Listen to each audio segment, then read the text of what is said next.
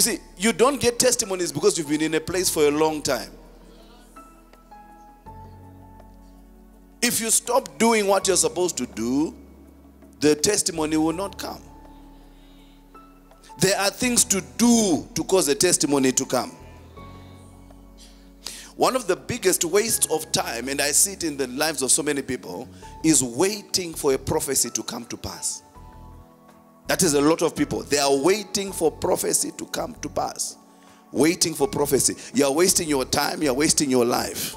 You don't wait for a prophecy to come to pass. What do you do? You make it come to pass. That man said, What must I do to be saved? What must I do to be what?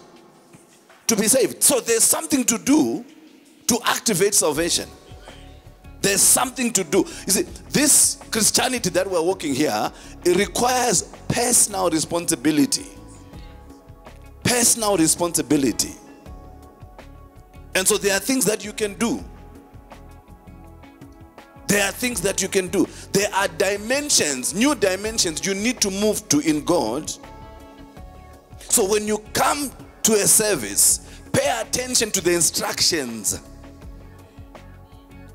Pay attention to the what? To the instructions.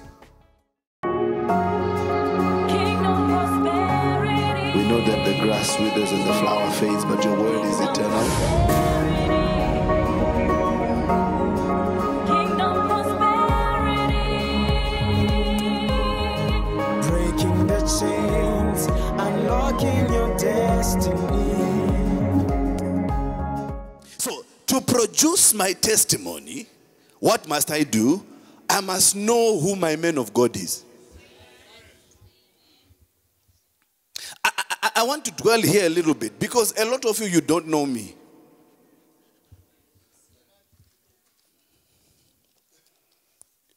I was there, Pastor. That's why you can be told who your pastor is by the devil. I want to show you something. Go to Matthew 16. Because this thing annoys me. Because I work with people for years. And they don't know me still. I mean, I said to someone the other day, eh, and I think I said it on Wednesday. I said, You'll never get a good recommendation from your ex girlfriend. Your ex girlfriend will never recommend you for anything good. An ex church member will never say anything good about me. That's why they are ex. And at the same time, Lucifer, who was thrown out of heaven, will never say anything good about God. I mean, just common sense, not even spirituality.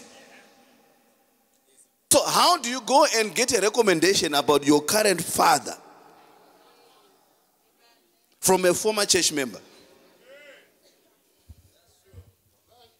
And that's what a lot of you do. That's why you don't really believe. Because you are listening to me with one ear, and with another ear, you're listening to a former church member. So you, are, you, have, you have the tenth gift of the Spirit, the gift of suspicion. You are always suspicious. Always suspicious. And you know the amazing thing is, there are miracles that God has used me to work in your life. Never mind someone, never mind someone who you can say, ah, pangwe atengwa in court. I can't consult the devil to get information about God. You need to know who your pastor is. Matthew 16. Give me from verse 13. Daughter, read for me, Isabel. When Jesus came into the region of Caesarea Right. Philippi, Uh-huh. he asked his disciples, saying, What did he ask his disciples? Who do men say that I, Vana robot kudi. the Son of Man, am? Vana robot kudi pamusoro pangu. Who do men say? That is a serious question. Who asked the question? Jesus. He was trying to help his disciples. He said, Who do they say that I am? Now, what did they say? Carry on. Verse 14. Uh-huh. So they said, Uh-huh. Some say John the Baptist, Right. some Elijah, Uh-huh. and others Jeremiah. Now, question: How many how many things have been said already? Three. How many things have been said already? So people will say different things. So if you believe that is Jeremiah one day, and then again, oh, oh no, he's John the Baptist. Wachinja foot. And then oh no, he's what? Elijah. Which one do you want to believe? Some say you are this one. Some say you are this one. Some say you are that. It's a very important question. It will make sense in a minute. And some say you are one of the what? The prophets. Okay, carry on. Verse 15. Uh-huh. He said to them, But who do you say that I am? Now, before we even get into that, listen to this. Jesus did not say, ah, how can they say that?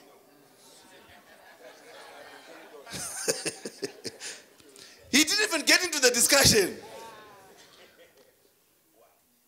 He moved on. And when you move on, you move on to something more important. What is the more important thing? Who do you? You who lives with me. Who do you say that I am? I don't need anyone else to tell me. I can't have someone outside to tell me who my wife is. Read on. Verse 16. Uh-huh. Simon Peter answered and said, Uh-huh. You are the Christ, Uh-huh. the Son of the living God. You are the Christ. What does you are the Christ mean? It means that he recognized the anointing. He didn't say you are the Jesus. No.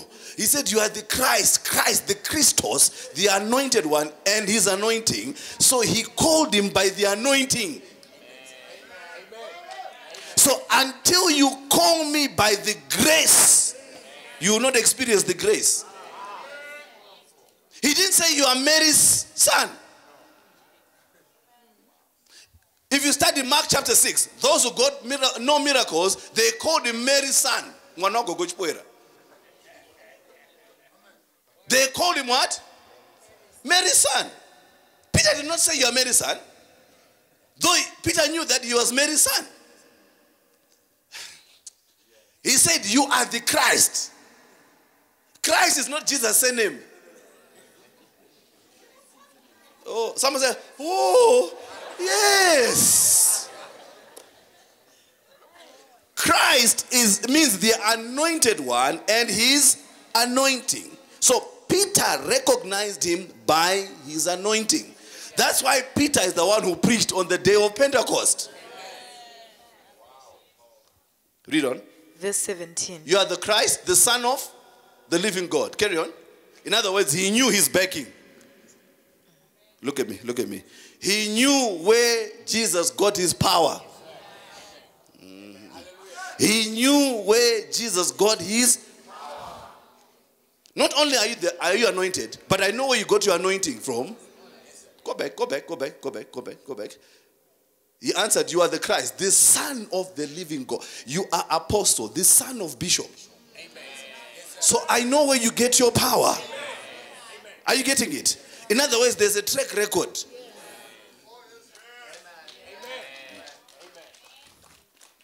So you need to know your man of God after the anointing he exhibits.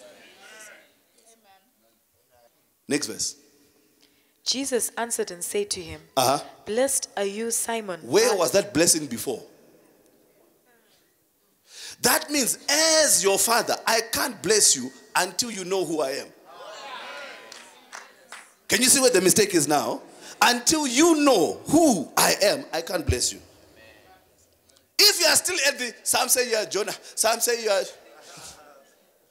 Jeremiah, some say you are the, the prophet, some say you are one of those guys, some say you are, some, if you are still at the, some say, I can't bless you. I like, I, I like what I like what he said. Listen to this. Hansu, who do you say? Pasei pane nyaya. In other words, you have to keep saying, He is my man of God. He is sent for me. He is anointed for me. God has sent him as a deliverer into. You have to keep saying it. You have to keep saying, and you know, you eventually believe what you keep saying. You can't truly be blessed by a man you don't know who he is. It's right there. And blessed are you, Simon Bar Jonah. Huh? For what? Flesh and blood has not revealed this to you. Pastor Watch, you know what he's saying? He's saying, don't listen to flesh and blood. you are waiting for flesh and blood to tell you about your spiritual father. If he's a spiritual father, why don't you ask the Holy Spirit?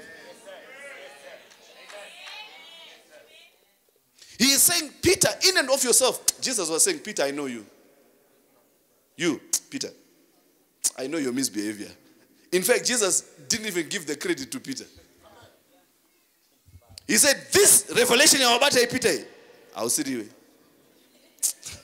It can only be the Holy Ghost. But he was teaching us if you want to know about your spiritual parents, ask the Holy Ghost. Ask the Holy Ghost. Ask the one who sent them.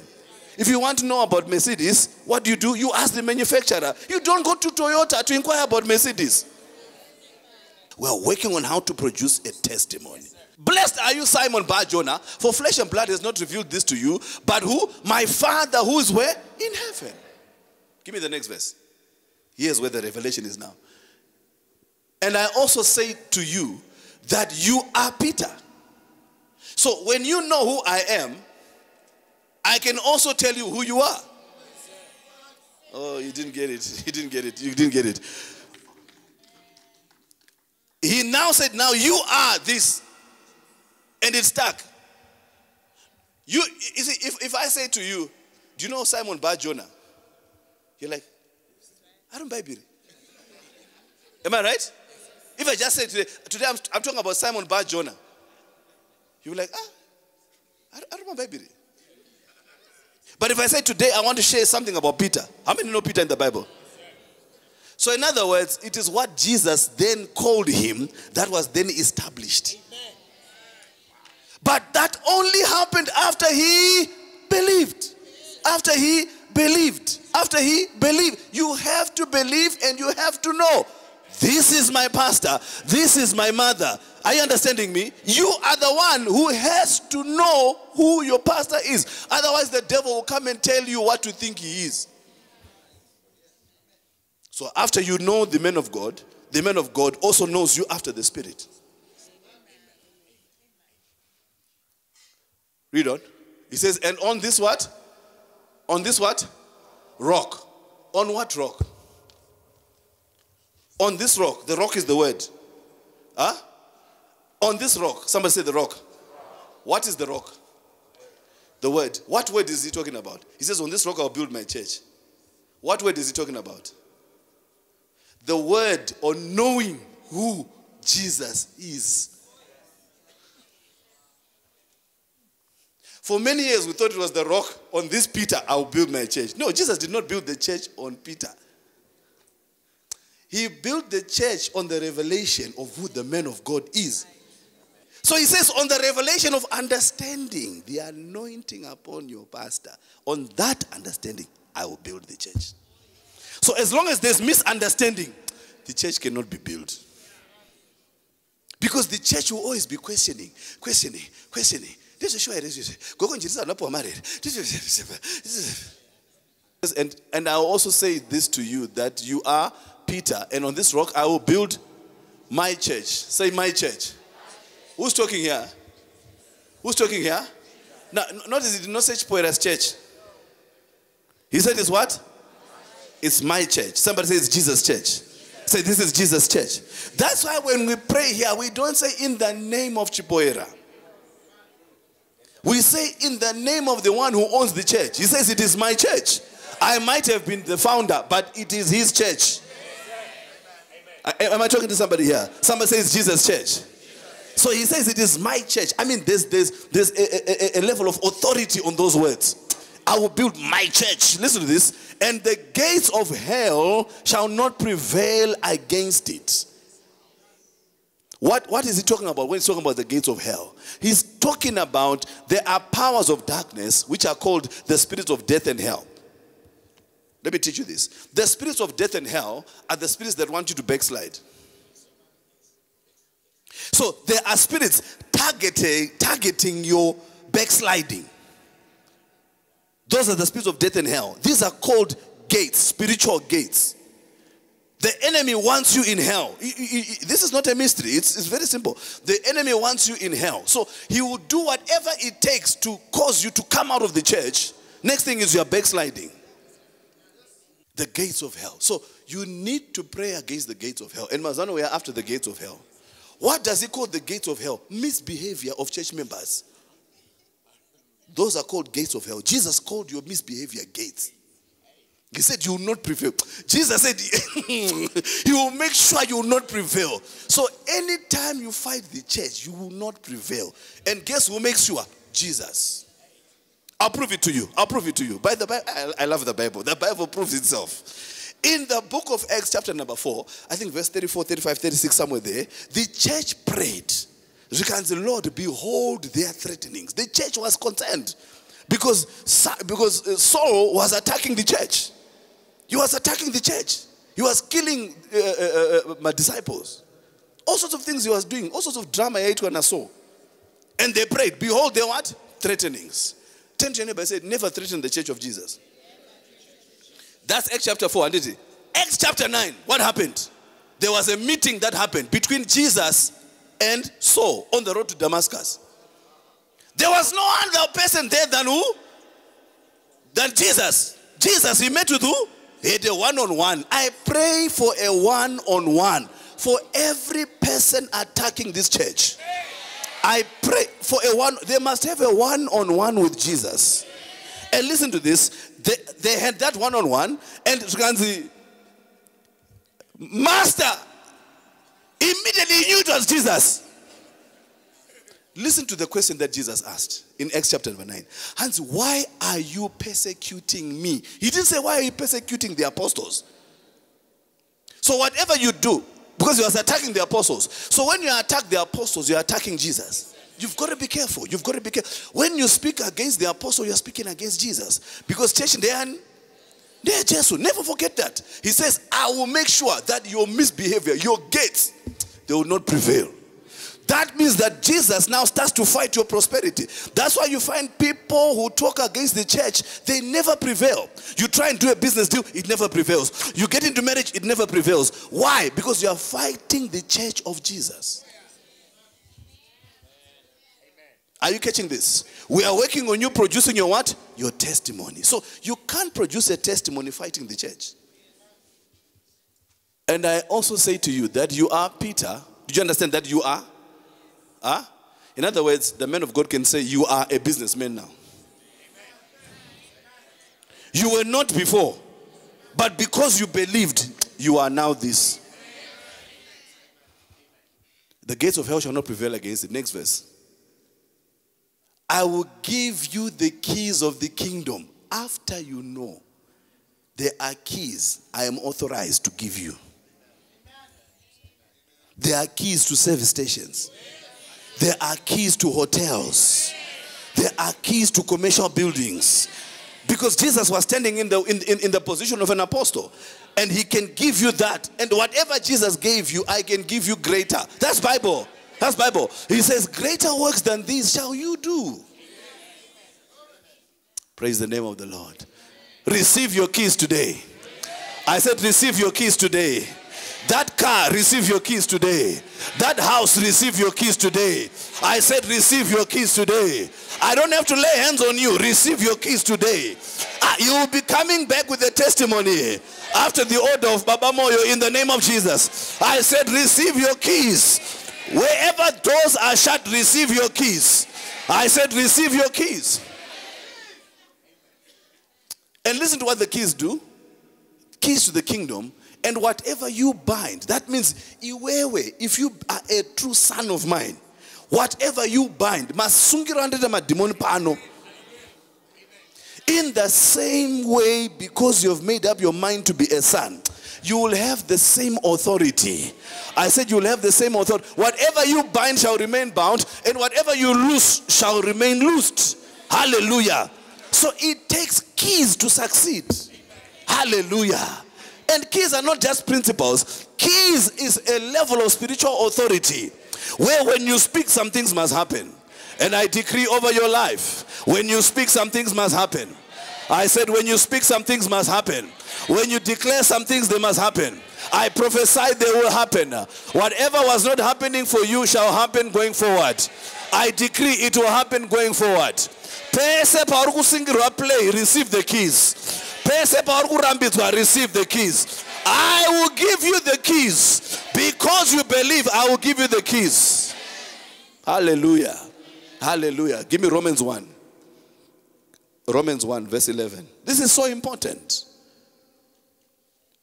For I long to see you when I was away in South Africa, that I may come back and impart some spiritual gift to you. So that what? In the end, you may be what? So you need to believe when I impart.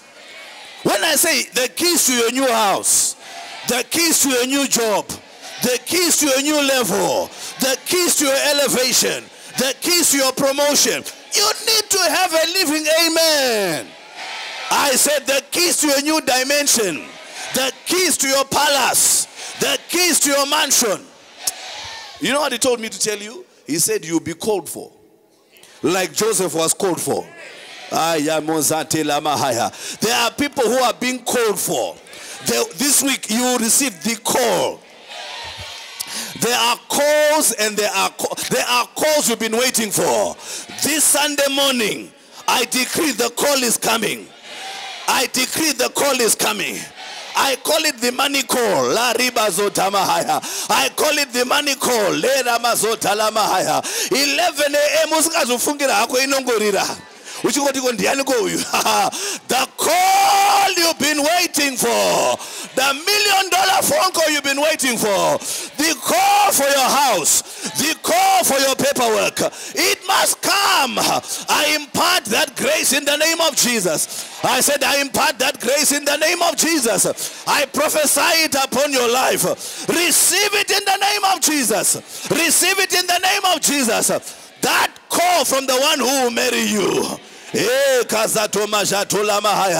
That call is coming in the name of Jesus. I said that call is coming. That email is coming. That WhatsApp is coming. The one you've been believing God for, I said is coming.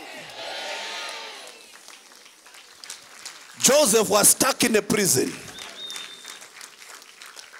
And the call came. He was not even expecting it. It came.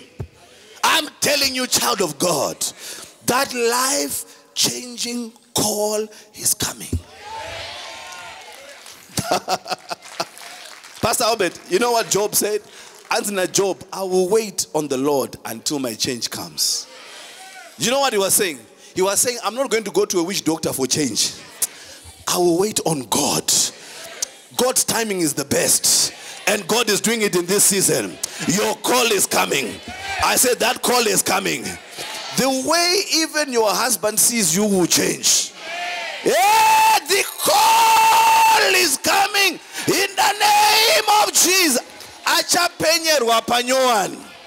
Mazato haya. Ndati achapenyerwa panyowani. I decree over your life that call is coming. La dabazota lirabahaya. Yeah, kandola rebazota lamahaya. Ezatola mokatila rabahaya. These are tongues of houses. Lezetelebe keriondo lobokondi mahaya. Baba boy, that house you want in Bulawayo is yours. Kale dabohaya. That house is yours. Receive it now. Eh. Receive it now. Receive it now. Receive it now. Receive it now. Listen, there are people who buy houses before this year is over. You are one of them. You are one of them. Ah. You are one of them, Mazato Mahaya. Who says you can't buy a house this year? Eh, Kato Mahaya. You are one of them, it shall come to pass. Mandamazotala Mahaya. Eh, katalamo katela mahaya. All I need is your faith. These testimonies should have given you your faith. Eh, kasatola mahaya. I just need you to believe. Eh, katolamo zatela mahaya.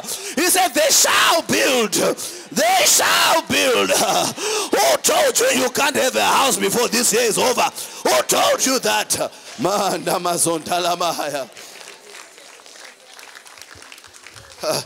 You know, I'm reminded of something by the Holy Spirit. Adam and Eve, they were in the garden, now they were naked. And you know what, what God said to them? He says, Who told you? Who told you that you were naked? He, God, God, even God wants to know who that person is. Who told you you can't make it? Who, who told you you can't get married? Who told you you can't have a wedding? Who told you that? Who told you you can't afford it? In other words, he was saying what you were told is a lie. Be careful of who tells you things. If you are looking for a Satanist, look at the one who told you. who told Adam and Eve that they were naked? It was the devil. Watch someone who tells you. Be careful of the one who comes to tell you.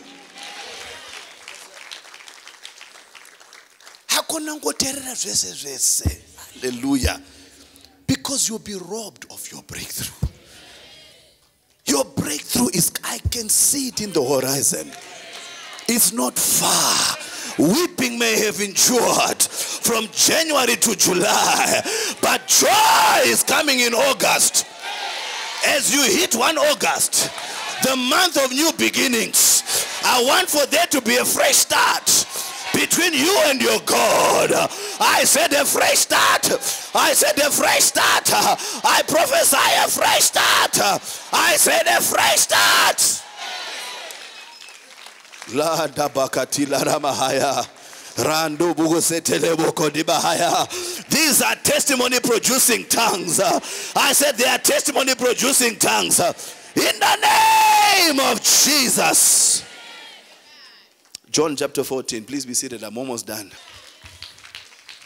This thing of believing is so important. Are you in John 14? Not verse 1. Verse number 7. Hallelujah. Hallelujah. Give me from verse 7. Thank you, Isabel. Anzi, If you had known me, Uh-huh. you would have known my Father also. if you know me, you know the one who's backing me. Are you seeing it?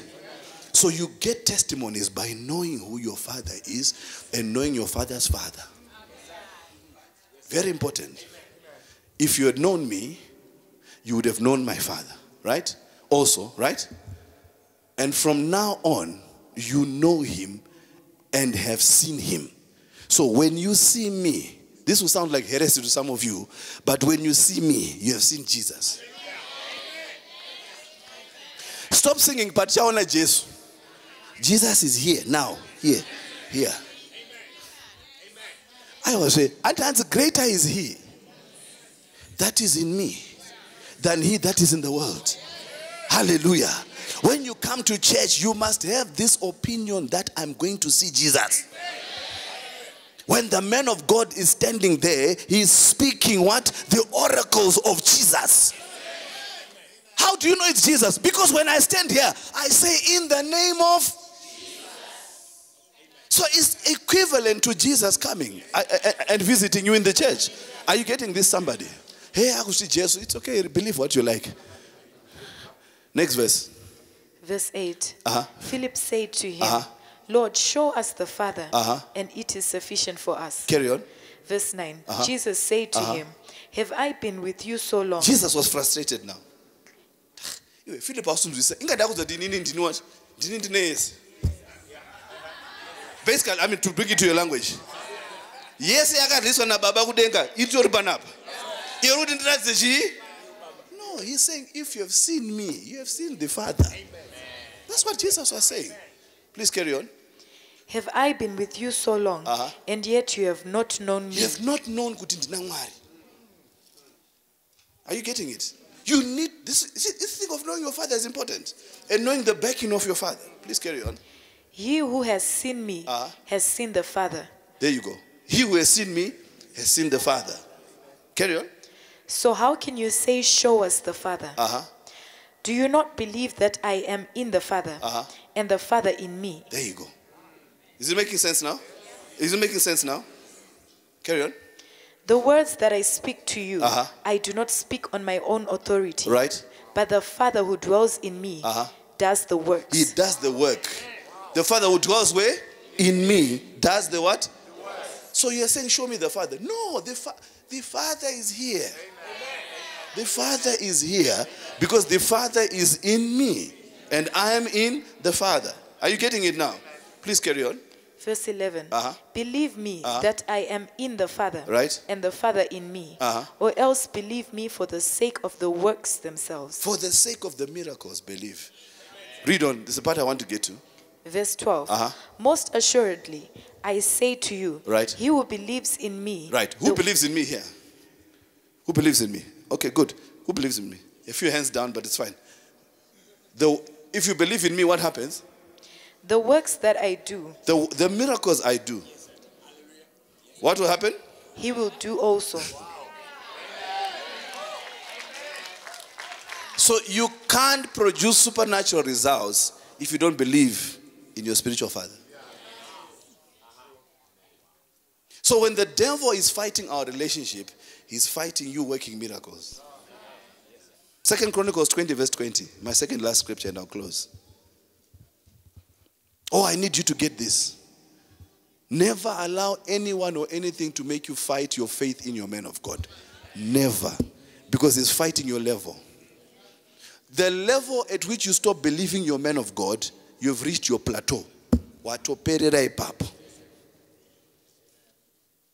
So they rose early in the morning and went out into the wilderness to Tekoa. And as they went out, Jehoshaphat stood and said, Hear me, O Judah, and you inhabitants of Jerusalem. Believe the Lord your God, you shall be established. But believe his prophets, and you shall prosper. So, based on that scripture, if I was the devil, if I wanted to keep you poor, I would fight you believing you're men of God. Datopedza. Datopedza. I don't even have to fight you believing in God. You can believe in God, but if you don't believe in the one he sends, you can't prosper. Can you see how the devil infiltrates the church with poverty? You become a suspicious person the church. Hey, may you not be like that. Ah, may you believe when you are told. I said, may you believe when you are told. I decree, may you believe when you are told. Results are coming your way in the name of Jesus. Praise the name of the Lord. The last part, if you want to prosper in church, if you want to produce a testimony, I'll give you the last one. Be a person of kingdom service. There's no one who was ever in the Bible and was great without service. Can I show you a scripture you've never seen before? Psalm 105, verse 42. How many believe Abraham was a great man? Can I show you what made Abraham great? For he, talking about God, remembered his holy promise, and Abraham his servant. Servant. Servant. Abraham was a servant. Abraham left his father's house. This way, eh? and he left quickly. There was nothing to pack. The Bible does not record Abraham packing anything. And for God to say, I will make you great, means he was a nobody.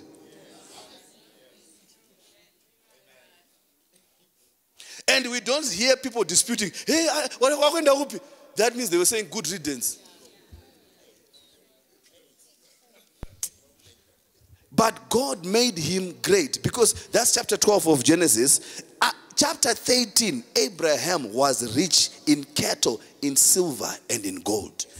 Chapter 14, Abraham, he had a whole army. Anganevan 318 servants. Right? Now, two, two chapters later, he now had 318 servants. He went to win a war. He came back with the tithe. Hello? Chapter 15, God, he spoke more greatness on him. He, God kept speaking and speaking. Chapter 17, ch- chapter 15, he made a covenant with God. Chapter 17, he made another covenant. Chapter 18, Sarah gets pregnant. Chapter 8, the same chapter 18, they, they, they, they, they looked after strangers. Chapter 22, Genesis 22, God, God asked for first fruits. And then what did he say after that? Now I will bless you.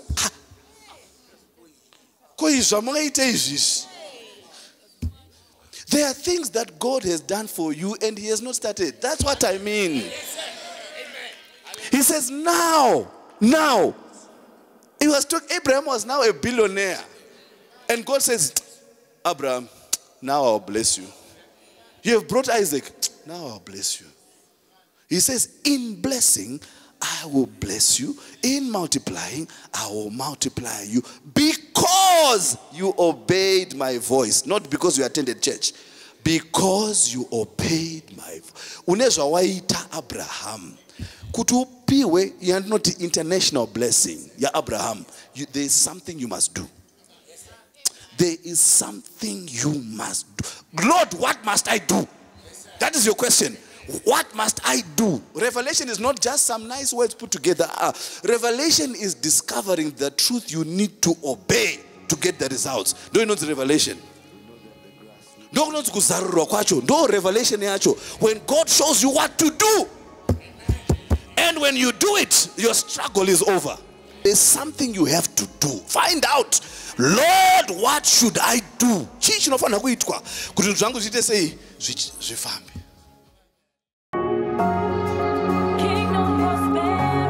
We know that the grass withers and the flower fades, but your word is eternal.